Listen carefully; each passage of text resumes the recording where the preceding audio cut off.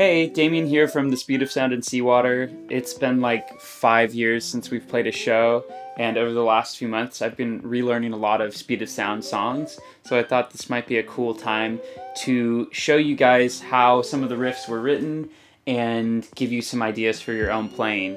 People ask me like every two weeks whether I'm gonna write tabs for a particular song, and honestly, the answer is I probably will never want to do that. It's just so time consuming. And secondly, I don't actually believe that tablature is the best way to learn your instrument. Um, it's how I started playing guitar, and to be quite honest, I wish I had begun learning guitar a different way because I think I'd be even a little further ahead right now. That's just me personally. There's a thousand ways to go about learning the guitar. I think a foundational knowledge of music theory is a much better way to go about figuring out riffs by ear rather than kind of plugging and playing using this like paint by numbers system. It just doesn't really leave much room for understanding of what we're playing. Okay, so without further ado, I want to emphasize that a lot of these riffs center around this like open G major position on the neck.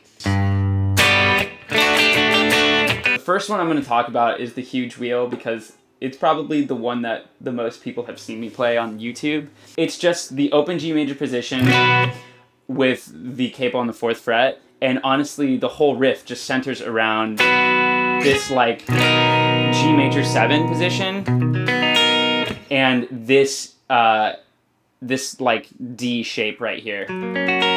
Not your open D, but like this fretted D major shape.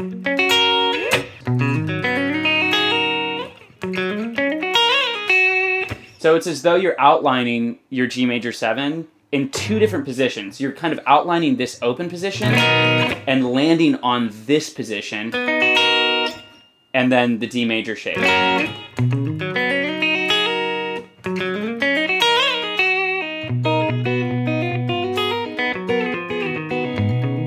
And there's some extra flavors in there in like the other parts of the song as it progresses, but it is always alternating between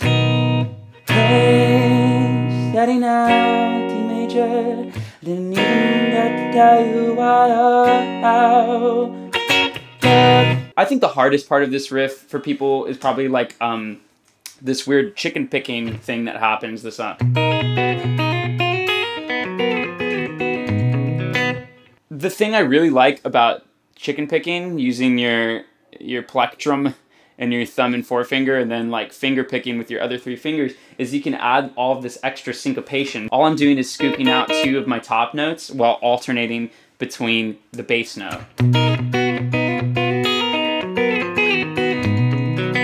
And just the interplay of the bass line with like this treble part just allows you to subdivide time more in a way that doesn't sound like like kind of a clusterfuck of of uh, notes in one register. So just something to experiment with. Uh, with all these, I'll, I'll play them slow, but I'm not gonna ever tab it out. So here's here's like the main chunk of the huge wheel.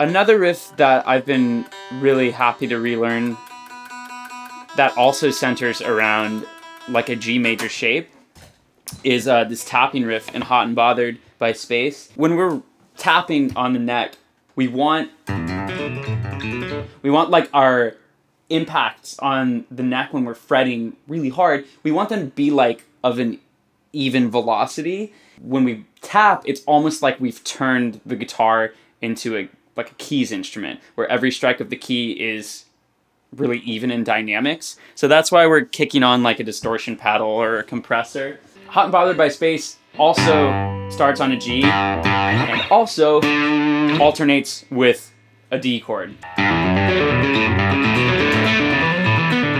As we've been relearning this one, Jordan, our other guitarist, pointed out that in the We'll name our own constellations, in that part, the riff isn't playing the right chord. The riff in the recording alternates between a G and A, but if we want it to fit with the vocal, it has to go like this. G, on constellations, D, caterpillar gods, B. So now when I play the riff live, I play it like this, with the correct bass note each time.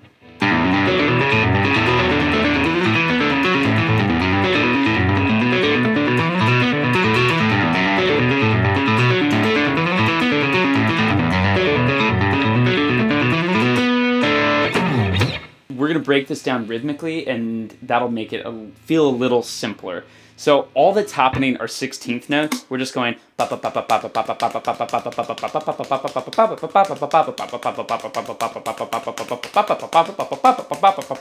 and the subdivision never changes. We're always playing just constant 16th notes. And all you have to do is figure out where to land them and we get this kind of rhythmic subdivision that feels energetic and busy and most importantly now that we're playing the right chords moves uh, in terms of tone and mood along with what's happening in, in the lyrics and the vocals. This song is about exploring space and like these these enormous celestial bodies. So in my mind, this riff kind of evokes this like enormity um, and the scale of like being dwarfed by the universe. That sounds really profound, but it actually segues into what I want to talk about next, which is this idea of word painting. So in music, word painting is the act of trying to evoke a lyric that is being sung within the music itself. So the best example I can think of is in Hot and Bothered by Space when it's time to blast off and we go 10, 9, 8, 7, 6, 5, 4, 3, 2, 1, blast off. That is the blasting off moment where we go ba ba ba, and it has to feel like a rocket taking off. When I picture it as I play, I imagine like shooting stars on every one of these little little zipper sounds. So it goes.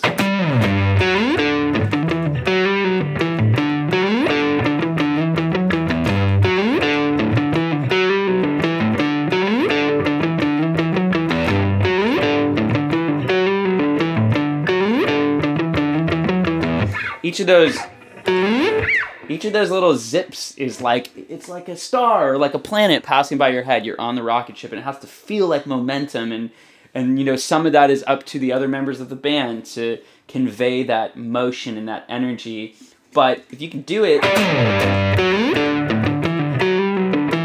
on one guitar neck you have really like economized the different instruments in the band and everybody else can kind of like play up that energy using their own instruments. So just to lend some ideas for your own songwriting practice.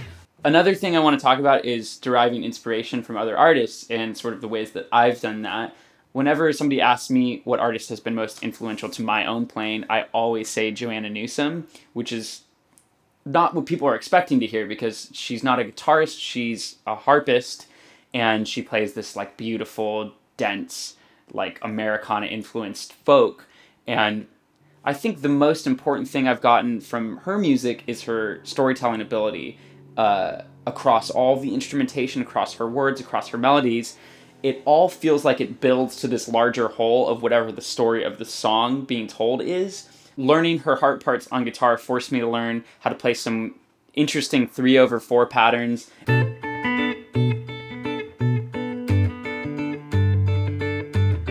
Best example of Joanna Newsom's influence on my own music is in Dinner and a Movie, where I pretty much straight ripped off uh, her song The Sprout and the Bean.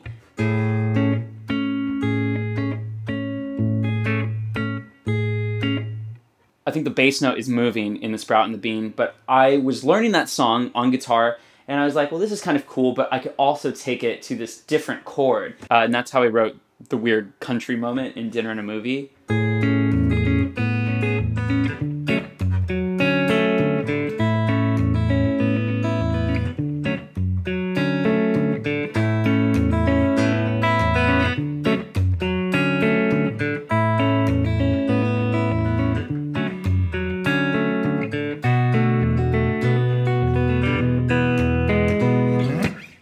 Of this as encouragement to look to much different genres of music to get inspiration for whatever you're writing, be it math rock or indie rock or hip hop or R&B. Whatever you're doing, you can put elements of your favorite music into it, regardless of genre.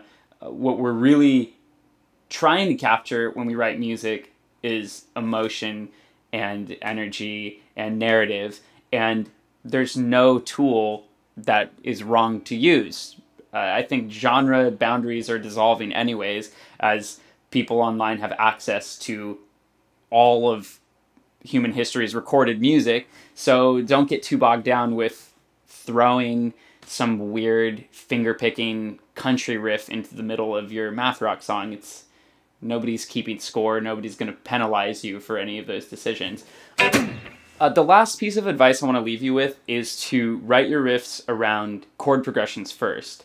Let me use an example. If I have this F sharp right here, are you able to tell me what emotion that conveys? No, right? A single note is incapable of conveying mood or tone or emotion. But as we add in detail, like if I add in second note or third note or th- fourth note, now this picture starts to develop. The same goes if we're writing a riff note by note and we're writing using individual notes rather than chords. It's hard to convey mood to the listener if we don't ourselves know what the setting is. So let me use an example from my own writing. This song, Amy Adams, is written around this chord progression.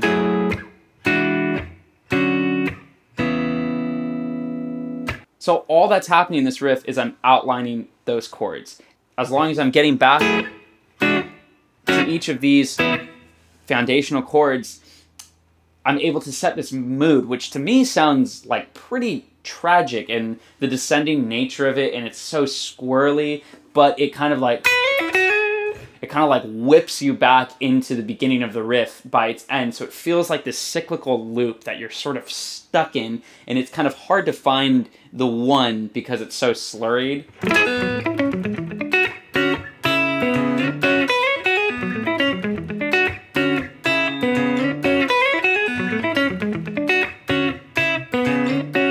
I guess like as a general rule of thumb, think of your chords as conveying emotion, and then the way you're subdividing time is conveying motion, if that makes sense. And the two combined together are a riff. And without one or the other, we've kind of missed the mark. I, th- I think as guitarists, we sometimes have a tendency to write songs around riffs. I know i am super guilty of that. A lot of the Speed of Sound material is written that way, and it's something that I've steered away from with time. But it's not the worst way to write a song, and in fact, it can be quite compelling. But if we are not thinking about what ingredients we're actually working with, uh, motion and emotion, uh, as I've just coined, it's a little harder to tell where to go next that's it for me. I can't really think of anything else to share. If there's any, if you have any questions, post them in the comments. Like, subscribe, check out patreon.com slash so much light if you're interested in more content like this.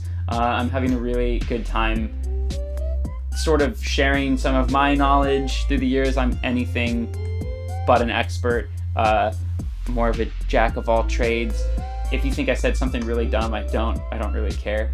Um, but feel free to share it. Uh, yeah, thanks. Bye. Come to the Speed of Sound shows. They're going to be really fun.